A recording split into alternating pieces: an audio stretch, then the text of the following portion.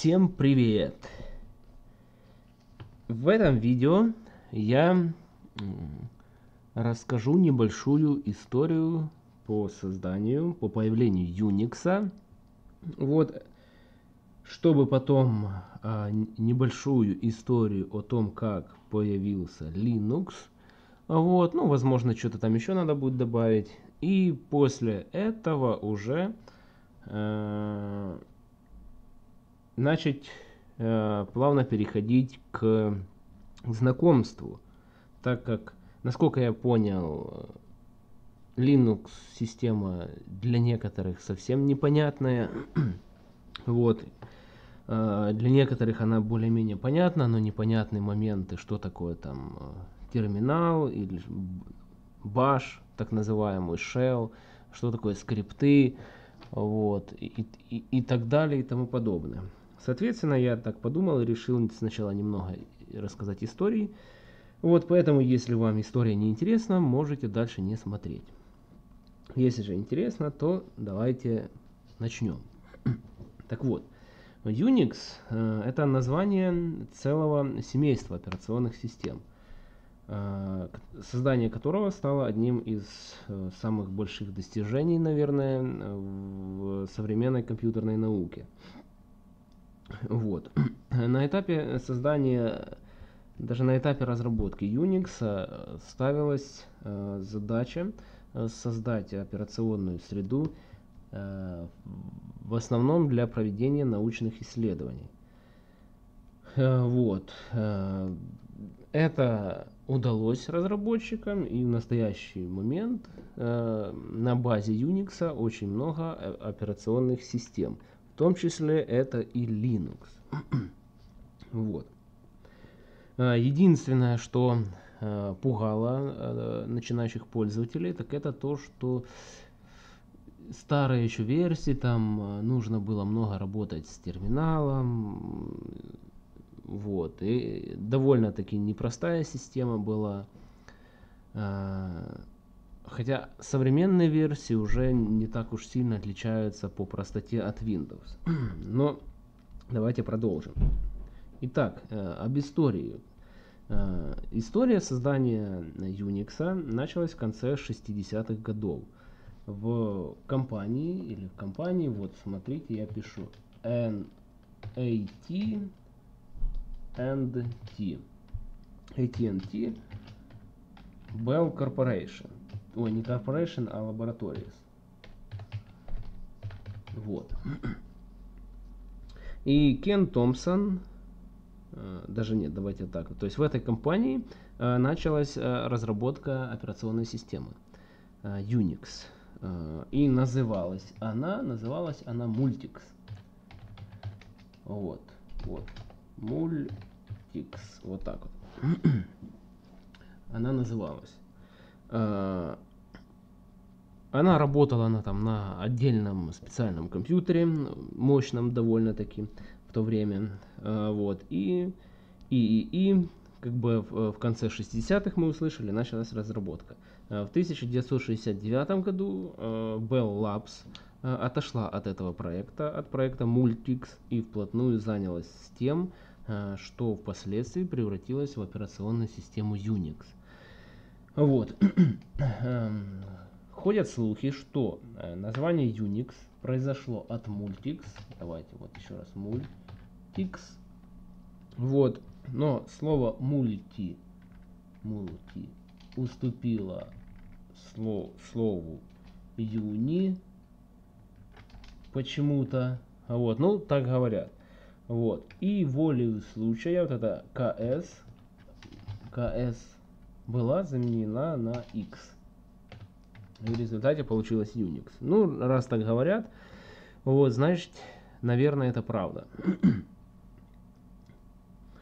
Вот, и приблизительно в то же время, то есть это 1969 э, год, э, сотрудник Bell Labs Кен Томпсон, э, который вскоре стал известен миру как один из создателей Unix, заинтересовался одним компьютером. Компьютер назывался, то есть у него было такое название P DP7. Вот. Э, и э, в то время он считался, этот компьютер, бесперспективным.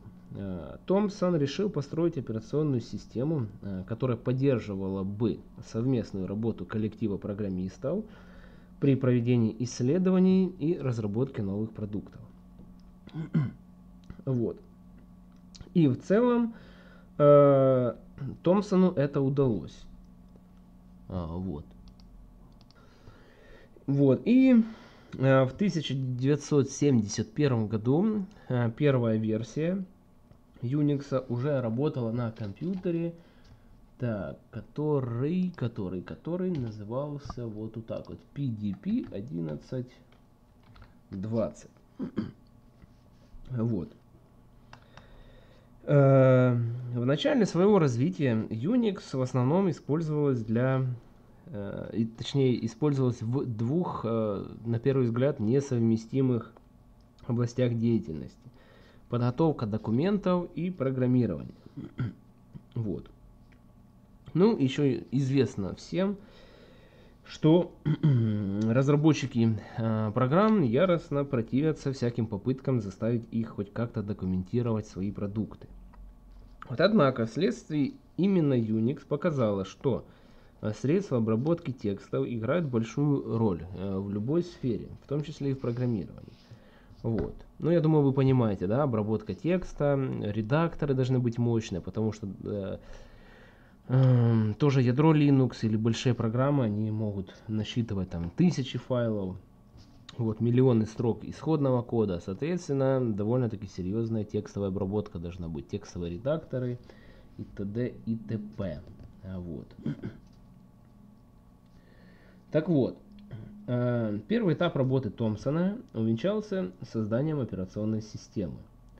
Ассемблера также, он создал ассемблер для PDP-7 и несколько утилит. То есть ассемблер, если вы не знаете, то это программа, выполняющая преобразование команд, записанных в текстовом виде, в машинной инструкции. Вот. Эту программу частенько могут называть транслятором. Э, напоминает она компилятор, однако между ними есть эм, отличие. Э, компилятор работает с языками высокого уровня. Вот. Э, и исходные тексты этих языков высокого уровня, они понятны для человека. То есть это человеческий язык. Вот.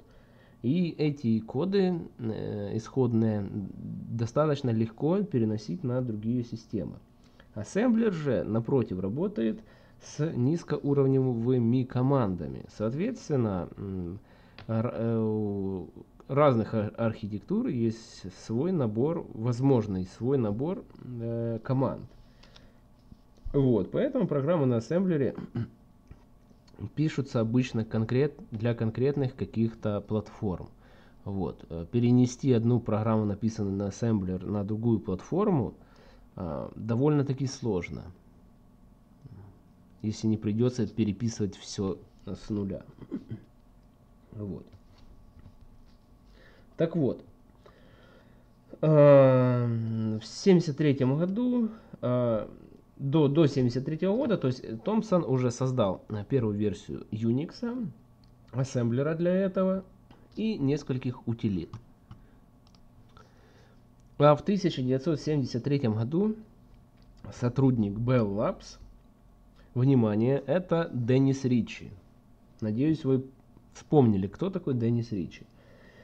Так вот, Деннис Ричи в 1973 году переписал систему Unix на созданном им языке программирования C.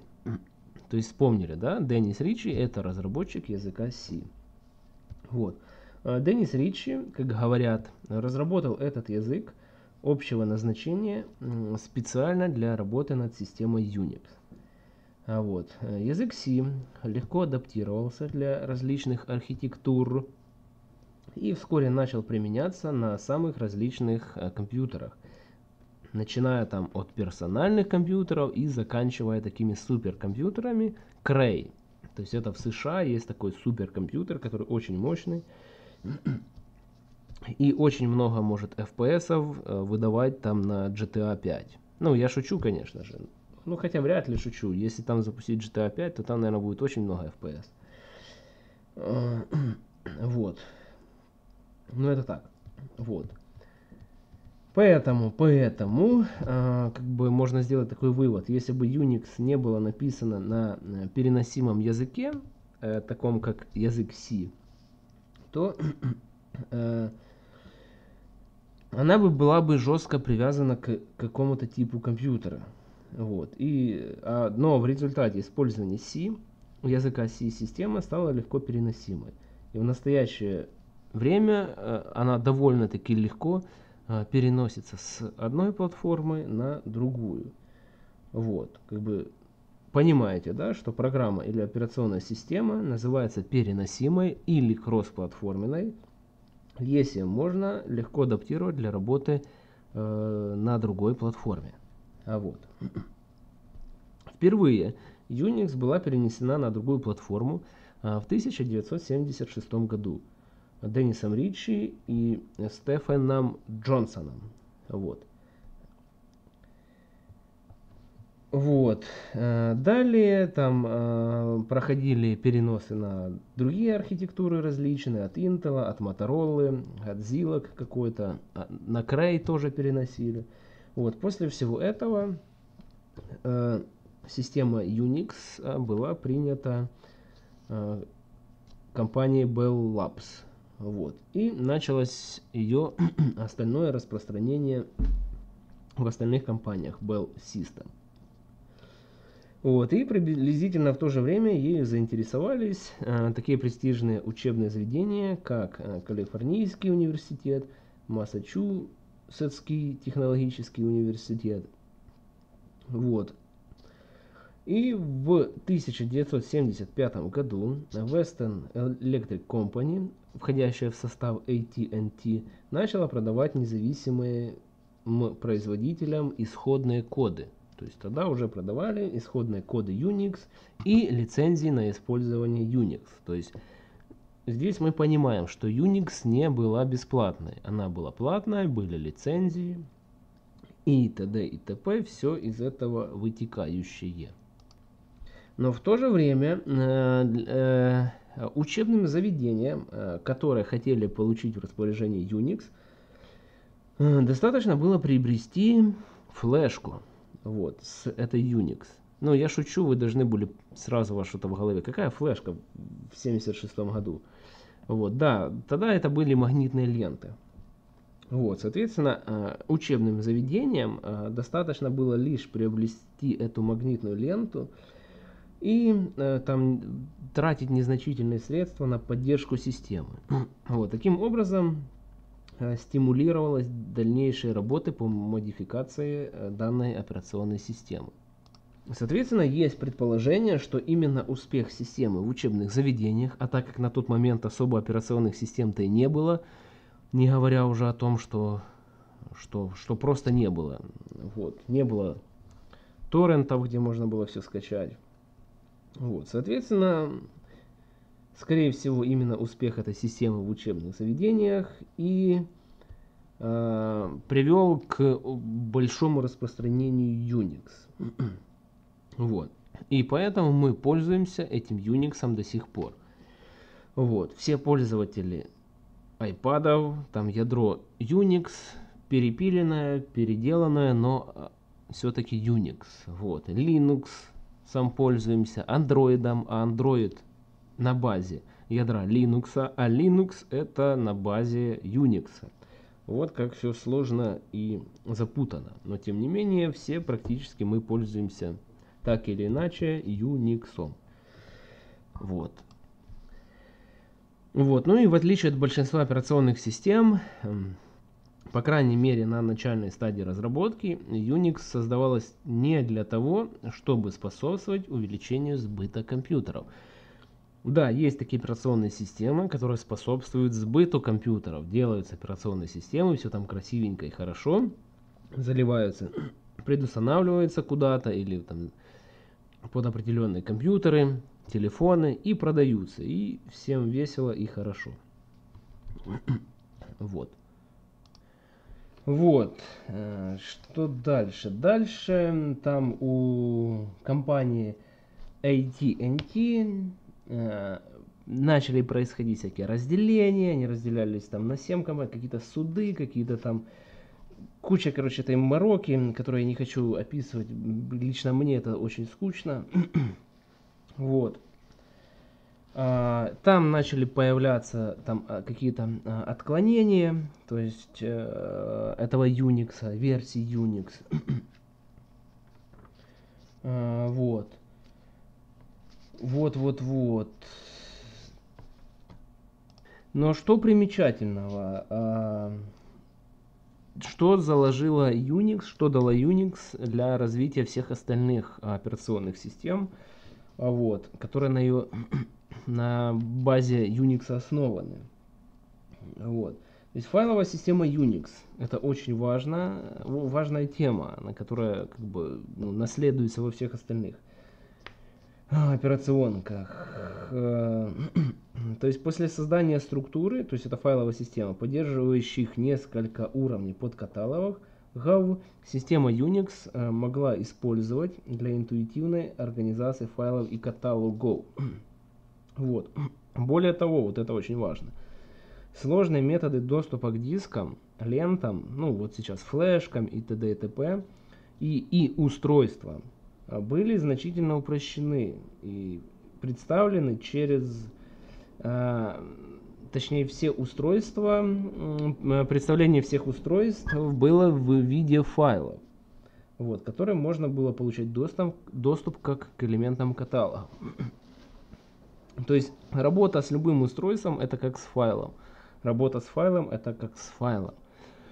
Вот, что очень удобно и при разработке драйверов, э, ну и в основном, да, при разработке драйверов или вообще при доступе к устройству. Дальше. Система перенаправления ввода-вывода. Очень крутая штука, которая наследуется во всех там дальше дочках э, этого Unix, в том числе и в Linux. Вот, то есть в командной строке пользователи Unix а, могли перенаправлять вывод команды в файл. Ну вот, к примеру, давайте посмотрим сюда. К примеру, это просто пример. Не надо тут ни к чему придираться, что тут непонятного, это пример. К примеру, вот запись такая. Файл 1, потом файл 2, пишем, потом вот так вот, сорт, потом вот так вот, PR, потом вот так вот, LPR. вот. В чем же фишка? Фишка в том, что, что тут происходит. Тут происходит объединение двух файлов. Файл 1, файл 2 с помощью команды cat. Вот. Дальше. После того, как они объединились, то есть вот этим символом мы объединяем вот э, эти потоки как бы ну то есть а, это так, так называемая концепция каналов. То есть э, которая позволяет вывод одной операции перенаправлять в другую операцию. Вот в данном случае два файла объединили и перенаправили его сюда для сортировки. То есть сорт это утилита которая сортирует. Дальше. После чего а, разбивается эта сортировка на страницы. Вот. То есть не цельным куском, а постранично. После чего, то есть и вот сортировка вернет результат, этот результат перенаправляется сюда. Дальше разбилась постранично, и вот этот результат перенаправляется на, вот это раньше были такие штуки, как принтеры. Но не сейчас есть, конечно же, но раньше были вообще там древние. Вот. Ну, Тут как бы не указано древний, не древний, соответственно, вот перенаправляется на принтер. То есть вот, вот такой командой э, мы объединили два файла, отсортировали, разбили на страницы и напечатали. Круто? Круто. Попробуйте что-то подобное сделать в такой операционной системе, как Windows. Вот. То есть здесь вот сама идея вот этих каналов, э, позволяющие превращать вывод одной команды во ввод другой. Поэтому это можно или какое-то, но в консоли, в терминале, это перенаправление другой команде каких-то результатов. Очень крутая и удобная штука. Далее. Переносимость, что еще от Unix, да, пошло на все системы. Вот, э, соответственно, операционные системы, которые основаны на Unix, они легко или более-менее, или не тяжело переносятся на все другие платформы. Вот.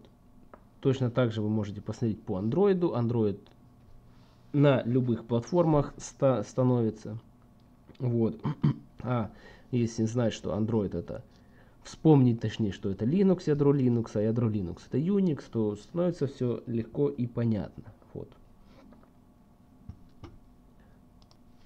Но чтобы эта концепция реально, реальной переносимости работала, вот, и работала для программного обеспечения, то программное обеспечение должно было создаваться на языке высокого уровня. Вот.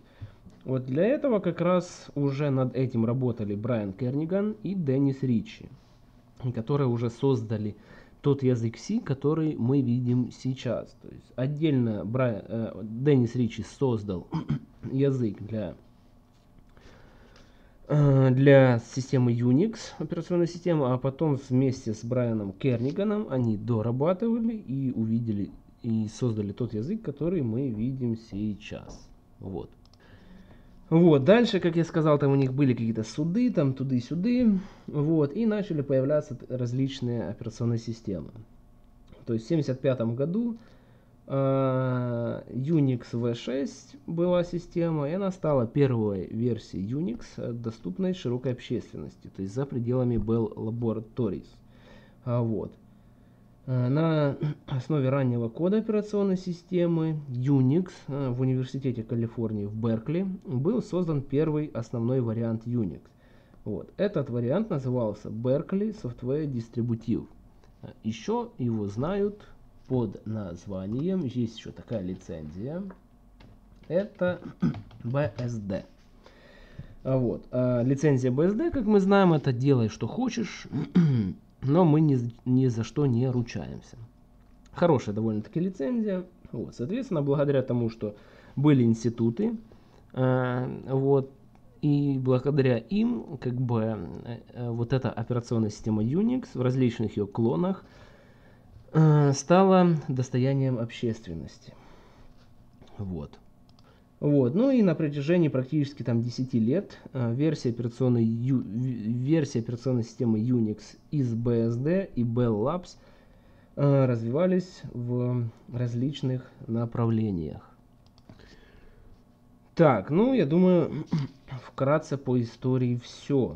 То есть там опять вспомним суды, в результате всех этих судов там было, достигли люди там разных соглашений, там открытых интерфейсов, исходный код можно или нельзя использовать другим и т.д. и т.п. Но давайте я вам расскажу еще, еще кое-что. Что такое GNU? Вы, возможно, слышали, видели, что такое GNU. Вот вот такая запись. Ну, обычно Linux раньше назывался вот так вот. GNU Linux. Вот, это сейчас его называют Linux, как бы некоторые полагают, что это ошибочно, ну какая разница. Главное, что все понимают, что это такое. Но вообще это GNU.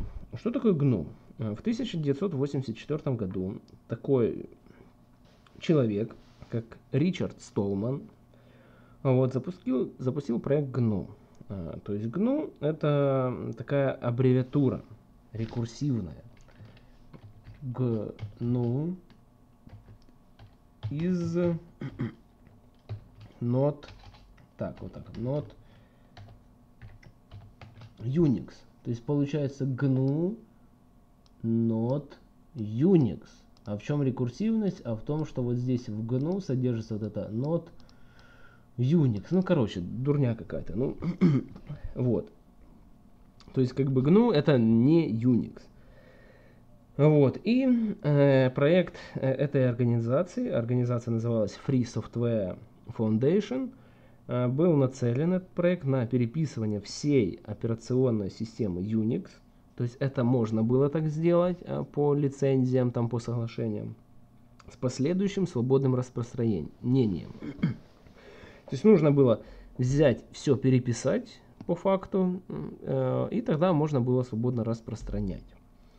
Вот. Задача переписывания миллион строк кода могла, конечно, показаться непосильной для одного или двух людей. А, вот. Но в результате все-таки люди не а, унывали. И э, эта задача была распространена среди нескольких десятков, даже сотен разработчиков. Вот. И как бы в результате этих стараний вот, переписанный код э, там не только мог достигать того же результата, но иногда оказывался лучше, чем оригинальный. Вот кода Unix. Вот. Так как все имели доступ к создаваемому коду, то плохо написанный код со временем переписывался и, и улучшался. Вот. Более опытными там программистами, людьми. Вот. Вот. После всего этого была создана такая лицензия GNU Public License. То есть GNU. Так, давайте сейчас я напишу. GNU Public License. Да? Лицен. Вот. То есть, если возьмем первые буквы, мы получим GPL. Вот, GPL. То есть, э, давайте выделим базовые особенности этой лицензии. То есть в основном это можно выделить три пункта. Э, авторское право. То есть оригинальный автор сохраняет за собой права на собственное программное обеспечение. Дальше. Свобода распространения. Кто угодно может применять э, программное обеспечение GNU в собственном программном обеспечении и реализовывать полученный результат. При этом исходный код должен распространяться вместе с продуктом, либо же предоставляться по запросу. Вот. Соответственно, когда вы используете код под лицензией GNU GPL, то вы да, можете его даже продавать, но только с исходным кодом. Либо же вы его продаете без исходного кода, но если покупатель запросит исходный код, вы должны будете ему его предоставить. Вот.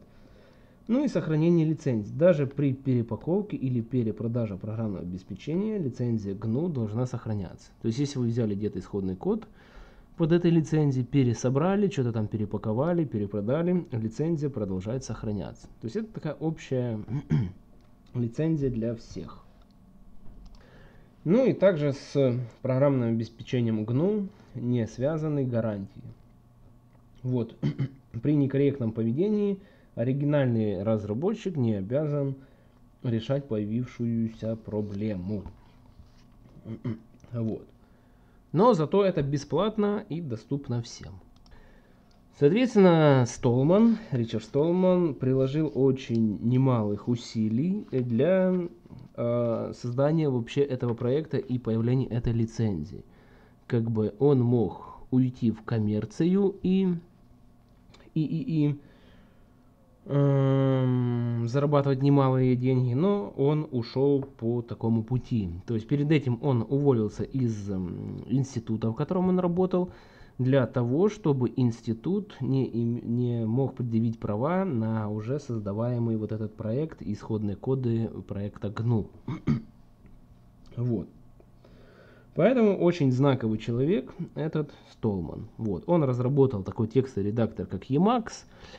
Ну, давайте я не буду. Это вы, если захотите, почитайте о нем поподробнее. Так вот, одни из современных операционных систем, которые распространяются по этой лицензии с открытыми исходными кодами, то есть это у нас есть BSD. Э, BSD, можно сказать, ну там не можно сказать, это BSD операционной системы Linux, то есть у которой полностью как бы соответствует этим лицензия, ну и как бы которые довольно сильно распространены. Вот, современные версии BSD распространяются в пределах трех проектов. Есть FreeBSD, NetBSD и OpenBSD. Обычно FreeBSD характеризуется как самая простая в использовании. Э, NetBSD э, доступна для многих там платформ, на большем количестве платформ, чем FreeBSD. Вот. А OpenBSD это она ассоциируется как фанатически безопасная система. Вот. И большинство ориентированных на безопасность специалистов предпочитают на данный момент, даже такое есть, предпочитают применять BSD, а не Linux. Хотя в Linux с безопасностью тоже все очень хорошо. Так, но одно, одна проблема была у проекта GNU. А, несмотря на успешное создание тысяч утилит для Unix, а, проект GNU не, не, мог, не смог создать один критически важный элемент кода. Это ядро. Вот. Попытки создать это ядро а, оказались безуспешными. И вот э, в 1991 году Торвальд Линус, студент университета в Хельсинки, Финляндия, начал работу над ядром, э, похожей на Unix операционной системы, так как он хотел использовать дома ту же операционную систему, что и в учебном классе. В этот момент Linux э, применял Minix, вот, но он хотел выйти за пределы ее стандартов. Вот, и Linux, Торвальду, это успешно удалось. То есть вот этот недостающий фрагмент – которое называется ядром и которое самая важная часть, он создал это ядро Linux. Вот. О том, как э, создавалась эта операционная система, я рассказывать не буду, только для того, чтобы простимулировать вас прочитать книгу. Называется она Just for Fun, по-моему, вот так вот. ну, в переводе можно найти.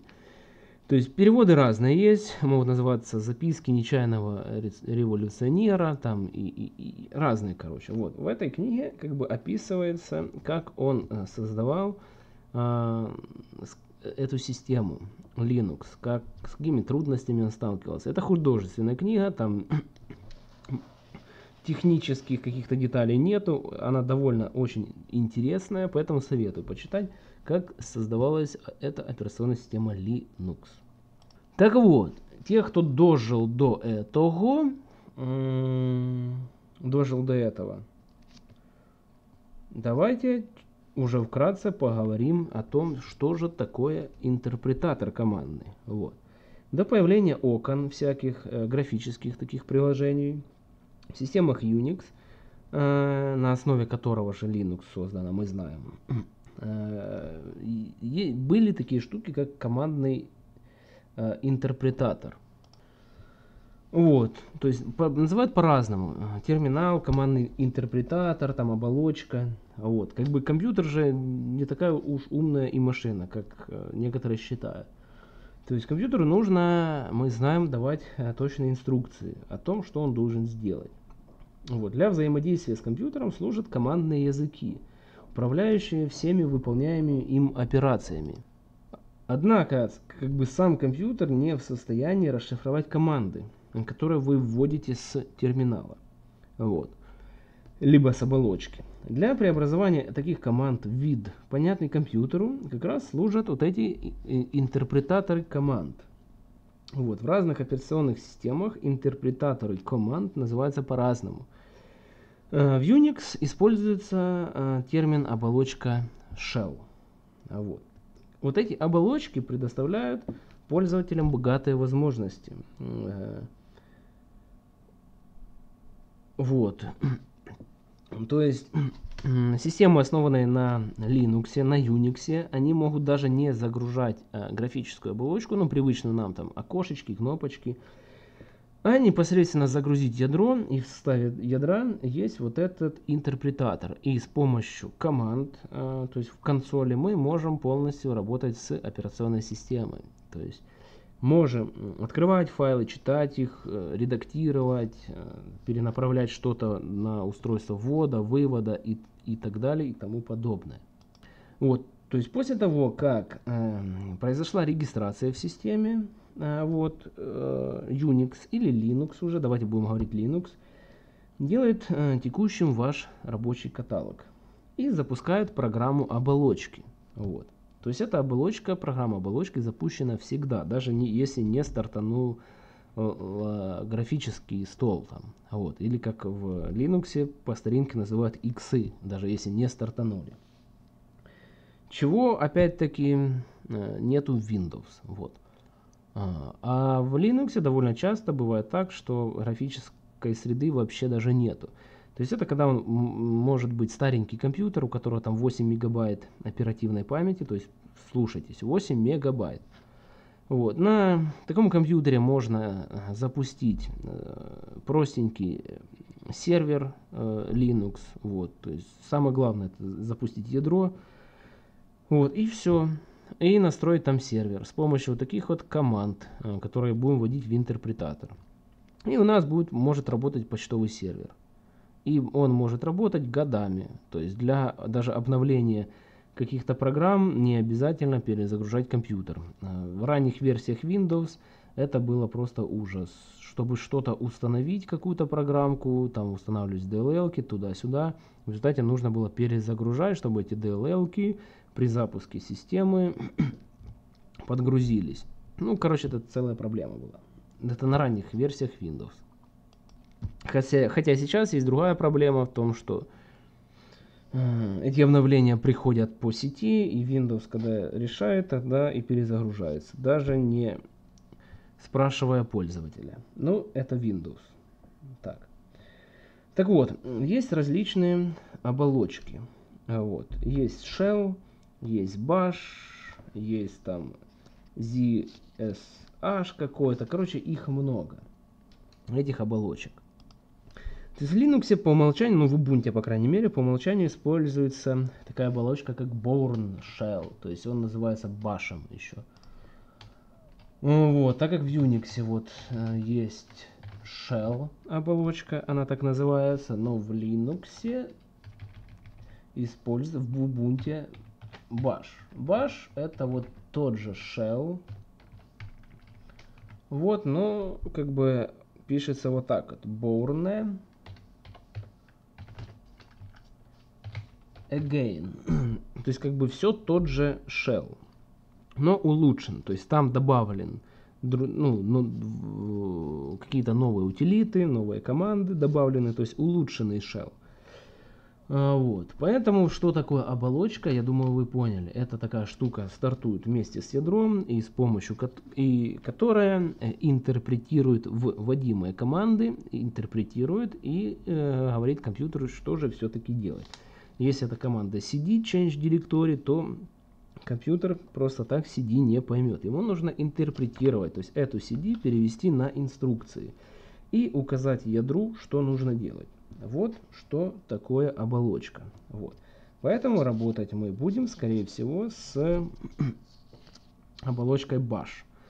Вот. Но я так посмотрел, можно и на питоне писать э, какие-то указания, каких-то команд и не только на питоне. Вот. Ну, это мы посмотрим дальше, как пойдет. Поэтому это то, что касается оболочек. Ну и как бы, э, что удобно, э, если на других системах, на дистрибутивах, тоже есть возможность указать четко, там, ну или bash по умолчанию, либо shell. Ну, скажем так, смотрите, работая с shell, и если вы будете писать скрипты под shell, то вы можете, то вы, можно сказать, со стопроцентной гарантией можете быть уверены, что на другой операционной системе, в которой тоже э, поддерживается эта оболочка, к примеру, shell, будут работать ваши скрипты. Если bash, то значит 100% будут на bash работать. А, вот. То есть это что касается переносимости. Вот, ну думаю на сегодня все. То есть в следующем видео по этой теме. Какое следующее видео вообще не знаю будет, но именно по этой теме. То есть, скорее всего, еще раз вкратце э, скажу, что такое оболочка там баш. Э, вот. Ну и там продолжим дальше идти. Возможно по командам, возможно по скриптам башевским, возможно еще по чем-то. Лучше, конечно, чтобы вы писали в комментариях, а, что бы вы хотели узнать. А, вот, потому что я могу предполагать, что эта тема уже понятна другим, но может оказаться, что совсем все не ясно. Вот, поэтому пишите комментарии обязательно, а, предлагайте Ну, а дальше по времени буду ориентироваться, что и как, и буду стараться реагировать на все замечания, комментарии и на всю критику. Вот, поэтому... Ах, да, забыл же. Надо же в каждом видео это добавлять. Максимальный репост, ребята, это должны увидеть все, абсолютно все, особенно пользователи Windows. Вот, максимум репост. Э, пересылаем, делимся. Ну, это одно и то же, но зато больше слов. Вот. Ну и так далее и тому подобное. Ладно, всем спасибо за внимание, всем, кто дожил до 40 минуты. Ждем новых видео, комментируем, делимся. Все, всем пока.